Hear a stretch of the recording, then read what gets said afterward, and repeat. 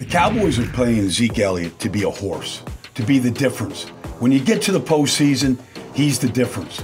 And I don't know that he is. Going back to last year here on this fourth and one against the Rams in a 23 to 15 game, they put it in the horse's hands. They put it into Zeke's hands. Now you can say, okay, there's just a wall of Rams there. There's no place to go. Maybe, maybe. Let's look. He's trying to stay alive. He's trying to, Rams push him back. But if you're going to just try to bowl your way through there, then bowl your way through there. But if there's a hole and if there's softness, then take it. Because it sure looks like there's softness over Connor Williams. But if that's where you're going to go, you got to make it. All right. Now look, when you watch it here, this is a 30 to 15 game. They're trying to get in it in the last two and a half minutes. You're going to go down the goal line you wanted to give it to Zeke, you got a shot. All right? If you're going to cut it inside and there's Bryce Hager, then you better run Bryce Hager over. Otherwise, follow your Pro Bowl guard. Now, oh, he's back there, I formation. Here we go. Big on big. All right, it's not a bad looking play right there. Now, you can trust Zack Martin that he's getting underneath Johnson right out there, and you can bounce it to the corner. But if you're going to cut it back inside, where's the power? Where's the power that you're paying the highest paid back in football? Where is it? because I've seen the same thing this year. Now, look, this fourth and one in a 12 to 10 game, I understand. You get the first down, you lose it on a fumble. You can't lose it on a fumble, not in a game like this. Not when it can decide home field advantage or playoff spot against the Saints. He loses the ball on that play. You can't lose the ball to Vonn Bell in that play. This is second and one against the Saints. Now just look at the defense. Safeties are back. Vonn Bell is back. Marcus Williams are back. It's his light box. Second and one.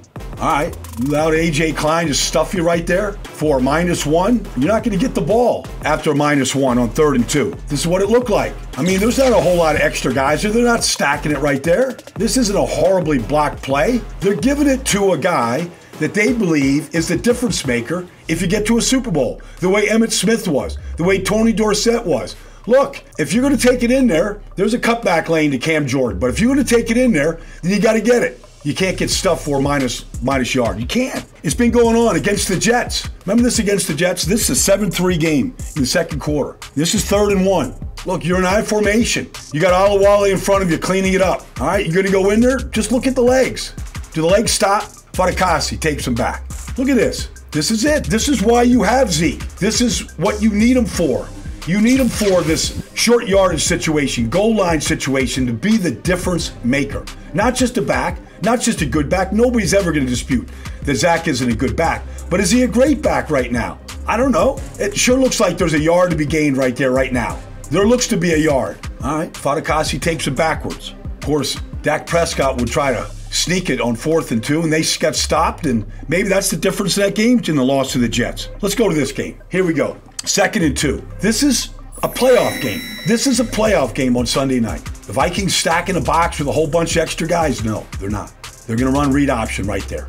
All right. Now, here you go. All right. You're not going to block Danielle Hunter, number 99. He's being. He's the guy you're optioning off of. La'el Collins doing what he's supposed to do. Go block Anthony Barr. But right now, if you take this ball right here on second and two, I don't know. Like I think Zeke can make that, but he doesn't. He gets stuffed for no gain. All right. You know what happened on the next play? He loses three on the next play. They gave it to their Pro Bowl All Star back, and he gets stuffed. Here we go.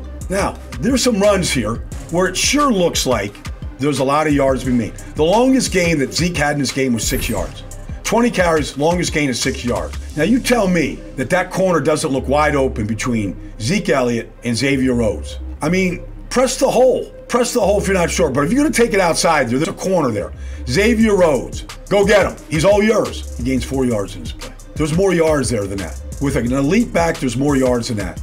Let's look at a play from the end zone. Here it is. Here comes Jason Witten. This is a well blocked play. Jason Witten, Randall Cobb, Amari Cooper, they all get involved. It's pretty well blocked. It's not perfect, but it's pretty good. Jason's in pretty good shape. Here comes Cobb. Here comes Amari. Now, go get the corner.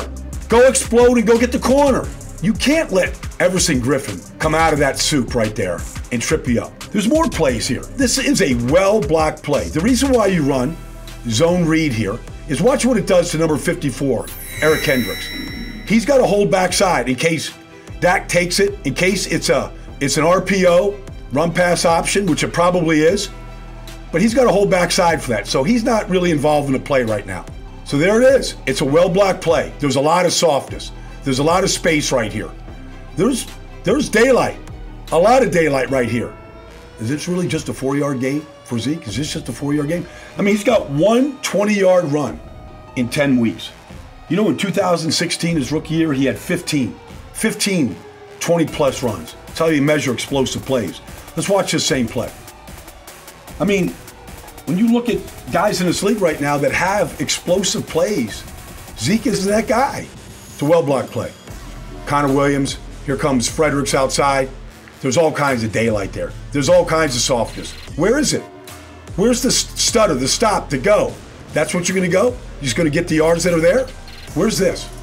Where's this? This is last year against the Saints. Where's this play? Where's Zeke? This isn't perfectly blocked. Watch the stutter. Bam! Where is this? Where's this stuttering go? Ben, Go! Get on your horse. They pay him to be a horse. Marcus Williams, no shot. Where's it? Where's Eli Apple? He's going to get trucked. Where's this guy? I don't see this guy right now. Is that because you missed training camp? I think everybody needs training camp. Where is it? Where's the explosion? Where's the cut? Where's the guy that wants to eat? I'm just asking. There's a lot of football to be played. Maybe Zeke's going to have 10 more explosive plays in the next six games. Maybe. Cowboys need that guy to be that guy. That quarterback is. The quarterback played awesome. Quarterback, maybe he can play better. Dak's doing everything he can do. They need the running back to be better.